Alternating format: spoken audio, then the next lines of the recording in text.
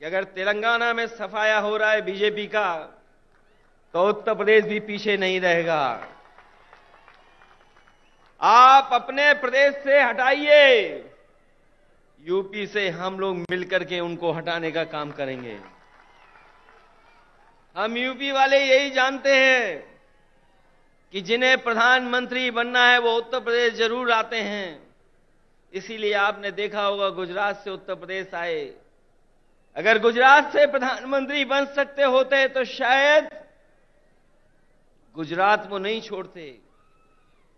लेकिन उत्तर प्रदेश के साथ जो धोखा हुआ है, उसकी आप कल्पना नहीं कर सकते हैं।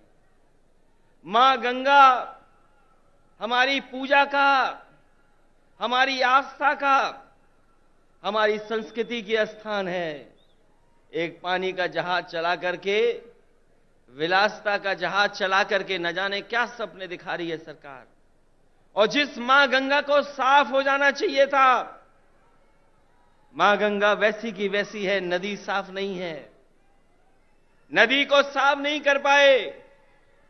मुझे खुशी है इस बात की कि जब मैं मुख्यमंत्री था, उस समय आपके मुख्यमंत्री जी ने एक फैसला लिया था कि यहाँ पर किसानों के खेत तक और घरों में पानी पीने का कैसे इंतज़ाम किया जाए? वो जो इंटीग्रेटेड इरिगेशन सिस्टम का आपने शुरुआत की, मैं आपको बधाई देता हूँ और जनता को भी बधाई देता हूँ, उनका धन्यवाद देता हूँ कि आपके प्रदेश से शुरू हुई योजना, जहाँ पर खेत को पानी, घर में पानी का इंतज़ाम किया, वही तो भारत सरकार नकल कर रही है। जो आज भारत सरकार नकल कर रही है, वो कहीं ना कहीं आपकी देन है। जिस सरकार ने एक उदाहरण पेश किया हो, और न केवल इरिगेशन में, और भी क्षेत्रों में, मैं ऐसे सरकार के लोगों को बधाई देता हूँ, और खासकर मुख्यमंत्री जी को बधाई देता हूँ। हमारे साथ मंच पर आपके सबसे प्रिय नेता और यहाँ के मुख्यमंत्री आदरणीय के चंद्रशेखर राव जी, मंच पर उपस्थित दिल्ली के मुख्यमंत्री अरविंद केजरीवाल जी, पंजाब के मुख्यमंत्री श्री भगवत जी सीपीआई के जनरल सेक्रेटरी आदरणीय डी राजा जी और मंच पर उपस्थित सभी बीआरएस पार्टी के सभी वरिष्ठ नेता, यहाँ पर इस सभा में उपस्थित बीआरएस पार्टी के संगठन के सभी पदाधिकारी मिनिस्टर्स सांसद, विधायक, सभी नेता और बड़ी संख्या में, जहाँ तक मैं देख सकता हूँ, मुझे लोग ही लोग दिखाई दे रहे हैं सरी सर दिखाई दे रहे हैं। मैं अगर बाई तरफ़ देखता हूँ मुझे लोग ही लोग दिखाई दे रहे हैं सरी सर दिख रहे हैं। दाई तरफ़ देखता हूँ तो सरी सर दिखाई दे रहे हैं। और मैं जब सामने देखता हूँ, जहाँ तक देख सकता हूँ, वहाँ तक मुझे लोग दिखाई दे रहे हैं। मैं इस ऐतिहासिक धरती पर, खम्भम की ऐतिहासिक धरती पर मैं आदरणीय के सी आर साहब का बहुत बहुत धन्यवाद और आभार प्रकट करता हूँ कि यहाँ पर इतनी बड़ी संख्या में आपने बुला करके पूरे देश को एक संदेश देने का काम किया है। आज सुबह से लगातार हम लोग काम देख रहे हैं। मैं सामने जहाँ पर बिल्डिंग में हम लोग बैठे थे, ये इंटीग्रेटेड जो ऑफ़िस बनी है, कॉम्प्लेक्स बना है, एक ये उदाहरण है सरकारों के लिए कि एक जगह कैसे अधिकारी बैठ सकते हैं और जनता को तकलीफ़ और परेशानी नहीं होगी, एक ही जगह पर समस्या का समाधान हो जाएगा। ये खम्भम वो धरती है जिसने हमेशा इतिहास बनाने का काम किया है। यहाँ के लोगों ने बड़ी से बड़ी हुकूमत रही होंगी, ताकतें रही होंगी। उनके खिलाफ अपनी आवाज़ उठाने का काम किया है। यहाँ के किसान, यहाँ के नौजवान, अगर किसान कभी इकट्ठे हुए हैं और अपनी आवाज़ को बुलंद करना पड़ा होगा तो यहाँ के किसान इकट्ठे होकर के अपनी आवाज़ बुलंद कर करके उस समय की हुकूमत को हिला के रख दिया। मुझे उम्मीद है कि आने वाले समय में जो हालात हैं देश के, जिन परिस्थितियों से हम लोग गुजर रहे हैं, जहाँ भारत सरकार और खासकर भारतीय जनता पार्टी, जिसकी सरकार दिल्ली में है एक एक सरकारें जो चुनी हुई उनको परेशान कर रही है। चाहे वो आपकी सरकार हो, और चाहे आपके बीआरएस की पार्टी की सरकार हो जो सहयोग और जो मदद और जो लोकतंत्र में सम्मान मिलना चाहिए, वो सरकार सम्मान नहीं दे पा रही समय समय पर रुकावट कैसे पैदा हो, नेताओं को कैसे परेशान किया जाए, उनके खिलाफ क्या साजिश की जाए, उनके विपक्ष के लोग जो उनके सामने खड़े होकर के सवाल पूछते हैं, उनको किस षड्यंत्र से उनको दबाया जाए। उनकी छवि कैसे खराब की जाए? ये भारतीय जनता पार्टी की सोची समझी थी रणनीति के तहत काम कर रहे हैं। जो संस्थाएँ हमें न्याय देना चाहती हैं, जहाँ से हम न्याय पुकार न्याय के लिए पुकार सकते हैं, उन संस्थाओं को भी दबाव बनाने का काम अगर कोई कर रहा है तो भारतीय जनता पार्टी कर रही है। अभी कल ही भारतीय जनता पार्टी की मीटिंग खत्म हुई है। और उन्होंने कहा कि 400 दिन बाकी हैं। हमें तो लगता था कि ये सरकार तो वो है जो दावा करती थी कि हटेगी नहीं। अब तो वो स्वयं स्वीकार कर रही है कि अब 400 दिन हैं। जो सरकार अपने दिन गिनने लगे,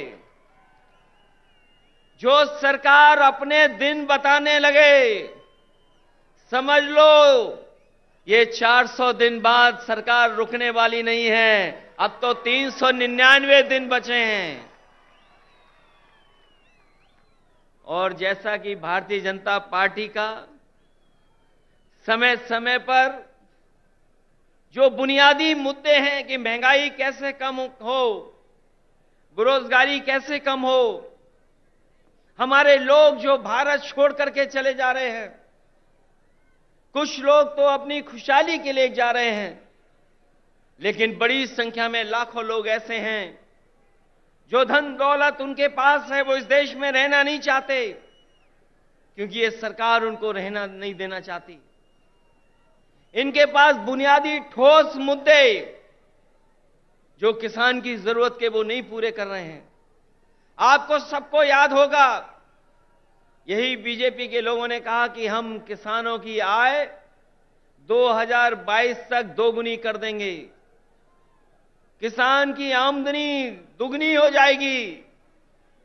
हालाँकि 2023 शुरू हो गया है, लेकिन मुझे तो ये लगता है किसान की तकलीफ़ और परेशानी को देख करके इन भारतीय जनता पार्टी के लोगों का 2022 अभी खत्म नहीं होगा। इनका 22 खत्म नहीं होगा 23 आ गया 24 आ जाएगा।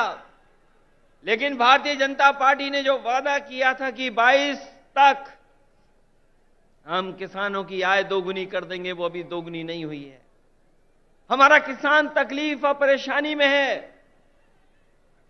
उसको वादा तो कर रहे हैं, लेकिन जो बुनियादी उसे मदद मिलनी चाहिए, वो मदद नहीं मिल पा रही है।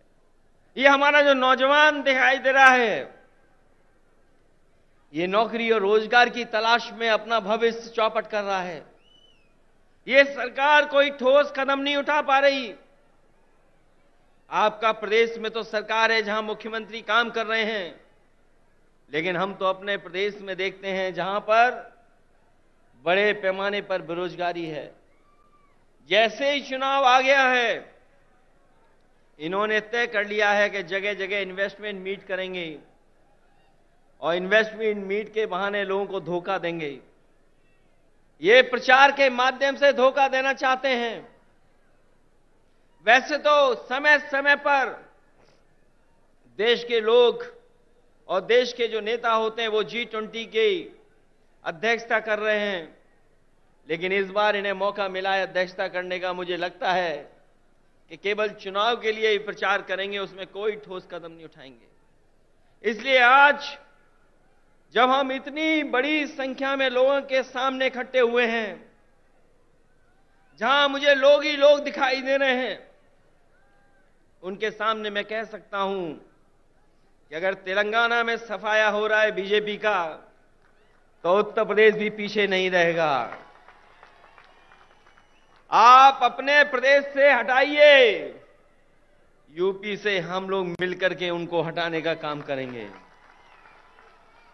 हम यूपी वाले यही जानते हैं कि जिन्हें प्रधानमंत्री बनना है, वो उत्तर प्रदेश ज़रूर आते हैं। इसीलिए आपने देखा होगा गुजरात से उत्तर प्रदेश आए। अगर गुजरात से प्रधानमंत्री बन सकते होते तो शायद गुजरात वो नहीं छोड़ते। लेकिन उत्तर प्रदेश के साथ जो धोखा हुआ है, उसकी आप कल्पना नहीं कर सकते हैं।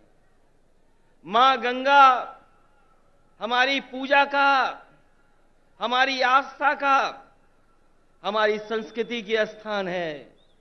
एक पानी का जहाज़ चला करके विलासता का जहाज़ चला करके न जाने क्या सपने दिखा रही है सरकार।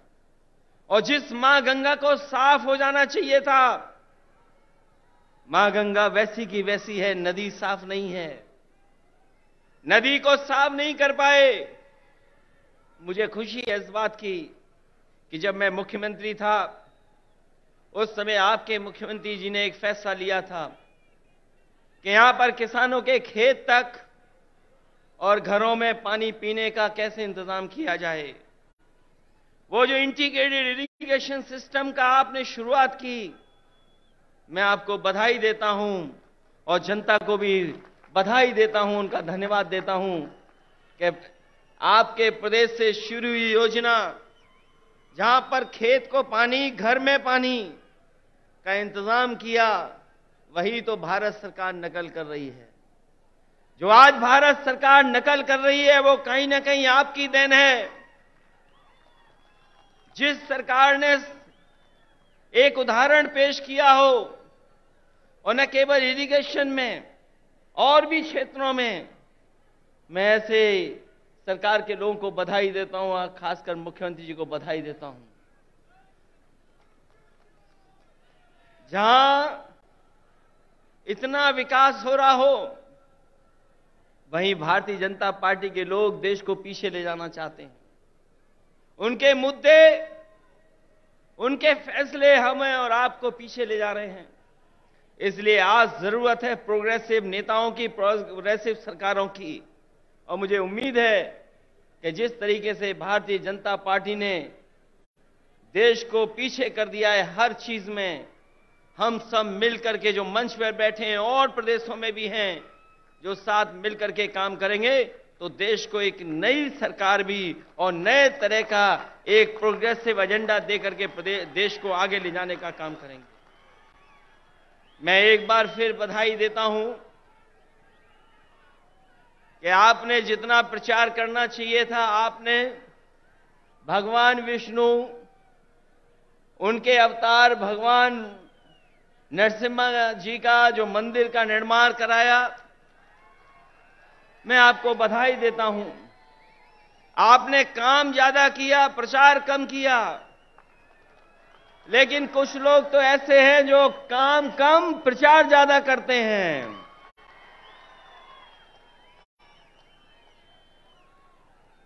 इसलिए जब ही अभी हम लोगों ने त्यौहार भी मनाया है, हमारे यहाँ मकर संक्रांति का त्यौहार तब मनाया जाता है। जब सूर्य उत्तरायण हो जाता है, अगर हम मकर संक्रांति मनाते हैं तो देश में अलग अलग जगह अलग अलग त्यौहार मनाते हैं। अगर सूर्य उत्तरायण हुआ है तो राजनीति दक्षिणायण चली गई है। और उत्तरायण से अगर कोई चीज़ शुरू हुई है और अगर दक्षिणायन राजनीति शुरू कर रहा है तो मुझे उम्मीद है कि आने वाले समय में बदलाव देश में आएगा और देश में एक नई सरकार होगी। ये भारतीय जनता पार्टी के लोग नहीं रहेंगे। क्योंकि इनके पास भ्रम और जाल फैलाने के अलावा कोई रास्ता नहीं है। ये समय समय पर भ्रम फैलाते हैं समय समय पर जाल फेंकते हैं। ये भारतीय जनता पार्टी भ्रम जाल पार्टी है, इससे सावधान रहना। हम लोग तो सावधान कर ही रहे हैं, लेकिन आप लोग भी सावधान करना, जिससे देश में एक नया परिवर्तन आए। मैं इन्हीं शब्दों के साथ आप सबका बहुत बहुत स्वागत करता हूँ, बधाई देता हूँ इस ऐतिहासिक धरती पर, जो ऐतिहासिक जनसभा हुई है, उसके लिए बहुत बहुत बधाई। और यहाँ पर जितने भी दूसरे दलों के नेता हैं मैं उन सब का स्वागत करता हूँ और एक बार फिर आपके मुख्यमंत्री केसीआर राव साहब का बहुत बहुत स्वागत और बहुत बहुत धन्यवाद और बहुत बहुत बधाई हम सबको यहाँ पर इकट्ठा करने के लिए और लाने के लिए बहुत बहुत धन्यवाद आपका।